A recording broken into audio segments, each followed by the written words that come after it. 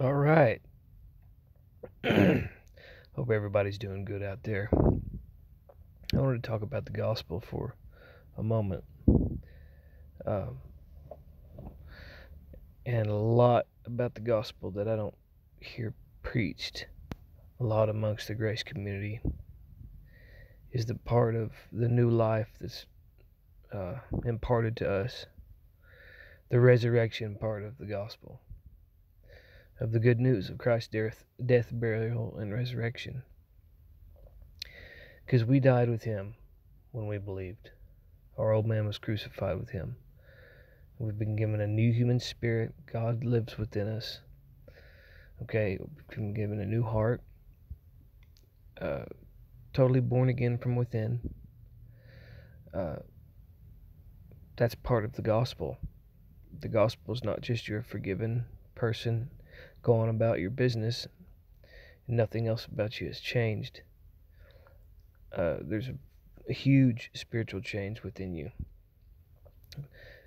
But that doesn't mean that when we when we preach this truth, that doesn't mean all of a sudden you're going to be a new person and act different. No. No, that doesn't happen overnight.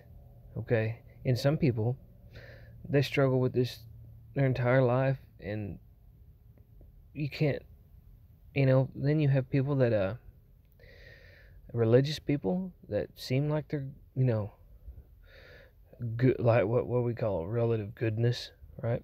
But they're not even saved right? And that's why we always preach that by your actions you don't ever gauge uh, by your actions if you're saved or not. It's only by the blood of christ faith alone in christ alone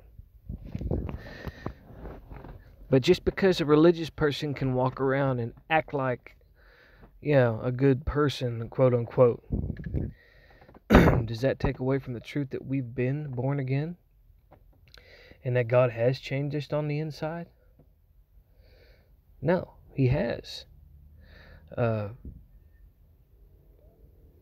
God didn't leave your heart out, guys. We've been taught that, though. That's not true. Uh, Romans 7, if I'm doing what I don't want to do, it's no longer I, but sin that dwelleth within. Miserable man that I am. Right? Paul was caught up in the struggle of that misery that a Christian has when they sin.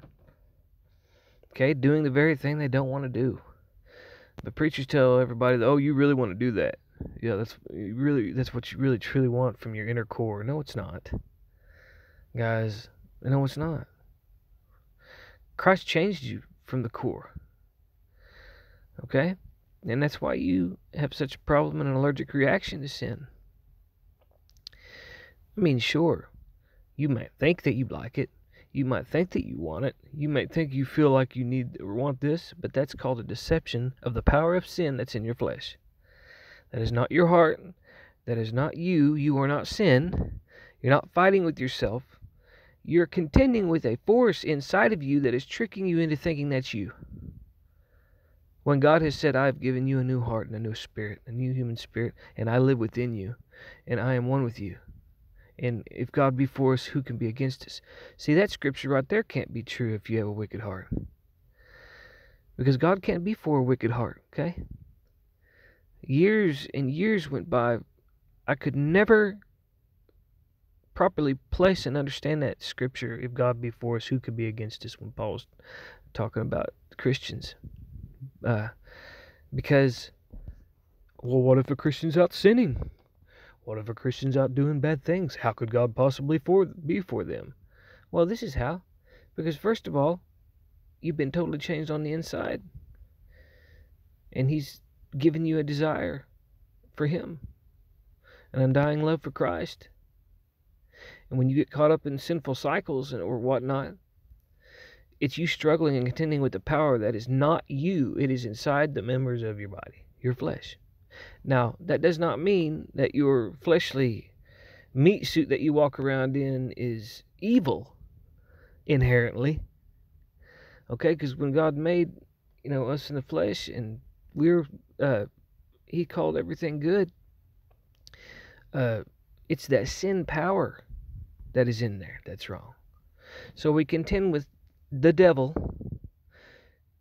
demonic spirits, and the power of sin that is in the flesh, that the Bible speaks about it as like personification, like it's got an agenda.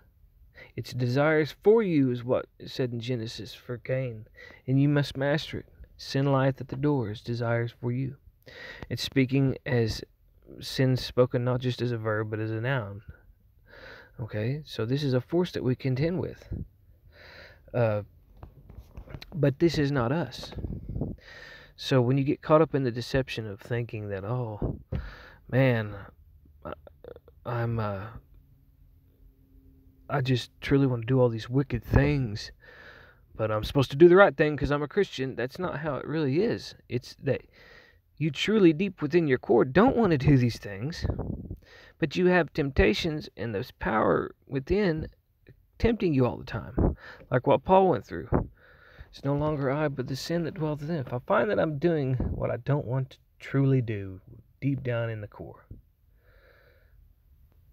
then I find that it's no longer I. This is the truth, guys. I don't care how you feel. People keep saying, "Oh, well, I feel like I want." Uh, well, that's because you're not understanding what's going on, right? Because we have been born again. We've not just been died for and forgiven, we've been changed. But to live these things out, okay, to work your salvation out is a whole nother that's the walk, okay? Uh but whether you if you uh don't start to understand these things, you'll be miserable because you'll just keep thinking that you're not on God's side and you're fighting with yourself all the time and you're really truly evil on the core still and you're just a forgiven, evil, wicked heart zombie. That's not true. You've been transformed from the inside out. Okay? And when you fail to temptation and you sin, this and that, anybody caught in repetitive things, that's like I've said before the one two punch of the enemy.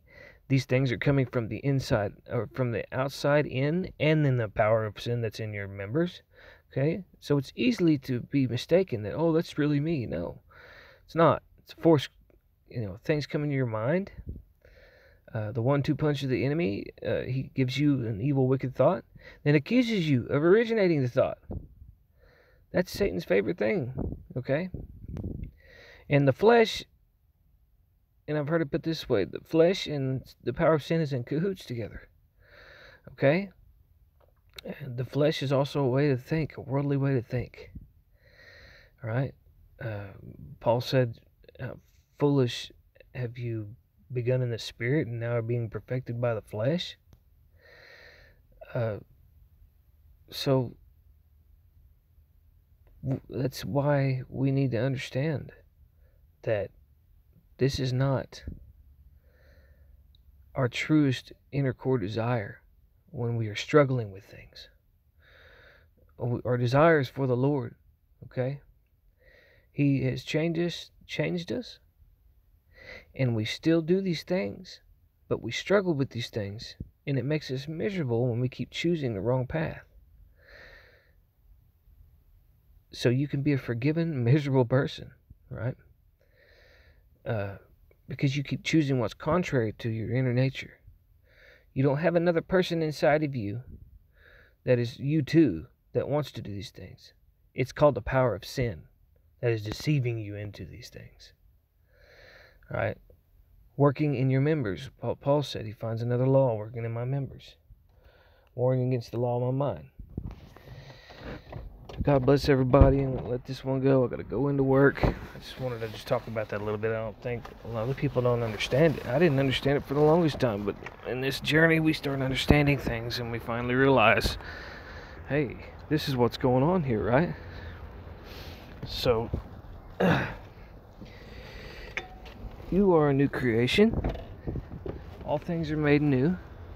We need to renew our minds all at the same time though okay because power of sin will war against your mind right